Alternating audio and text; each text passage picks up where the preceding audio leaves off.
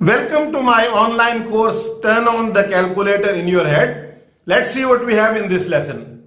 Numbers start from 0, then comes 1, then 2, then 3 and so on.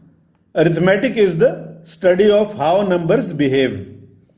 Now, as every person is different, it's same with the numbers.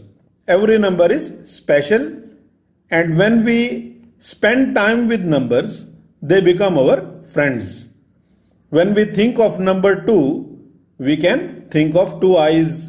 When we think of number 7, we can think of the seven colors of the rainbow. Of course, numbers go on after 9 to 10, 11, 12 and so on and there is no ending. So, all numbers after 9 are made out of the basic numbers 0, 1, 2, 3, 4, 5, 6, 7, 8, 9. A good way to imagine numbers is imagine them on a straight line like this. It's called the number line and we can pick out a section of the line anywhere we like like this.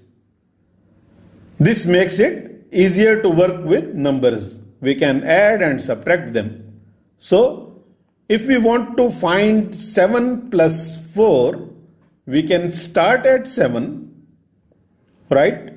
And count on 4 from there. 1, 2, 3, 4. That brings us to 11. So, 7 plus 4 is equal to 11. We can use the number line to do this if we like or we can just do it in our heads. If you want to get full benefit of this course, do the practice sheet of this lesson before moving on to the next lesson.